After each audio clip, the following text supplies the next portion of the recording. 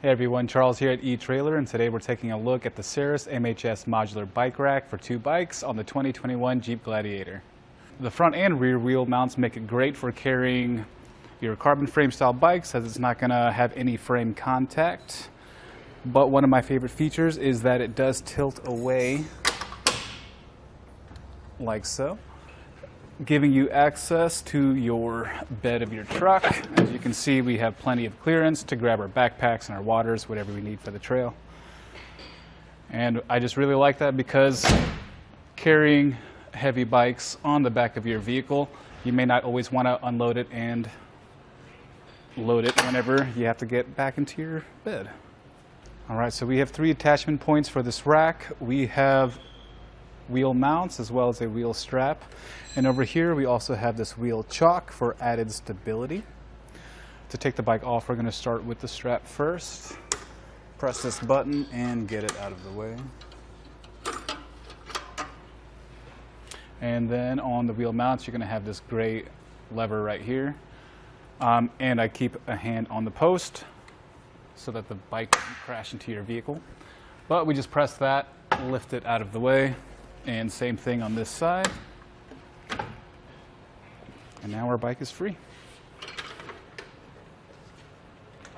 So your wheel cradles are going to allow you to accommodate your fat bikes with your 5-inch fat tires, as well as your thin bikes with this groove right here as well.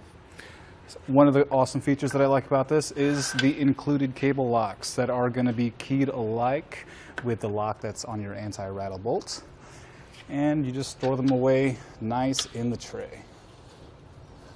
All right, let's get some measurements. So the length added to the back of your vehicle from the bumper to the furthest point of the rack is about 36 and a quarter inches, something to keep in mind when you're backing into a tight space or parking in your garage.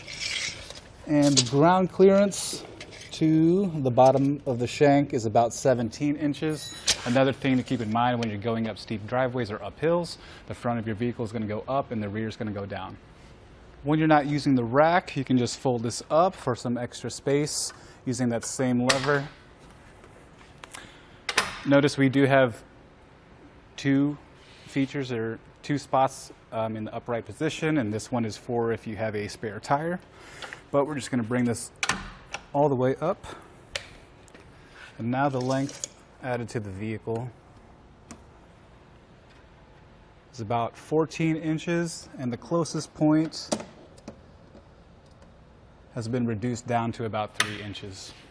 This is your two inch shank that goes into your two inch hitch receiver. And this is gonna come with its anti-rattle bolt and lock. And as you can see, as I'm shaking the shank, it's actually moving the whole vehicle, ensuring its secure connection and that there's no play within the receiver tube. Final thoughts about this rack is that it is a great versatile rack to use for almost any type of bike that you have. Its weight capacity is going to allow you to get almost every bike to and from your destinations. If you wanted something that is going to make loading and unloading your bikes a lot easier, check out the Yakima on-ramp, but otherwise this is a solid quality build that's going to get the job done. So that does it for our look at the Saris MHS modular bike rack for two bikes on the 2021 Jeep Gladiator.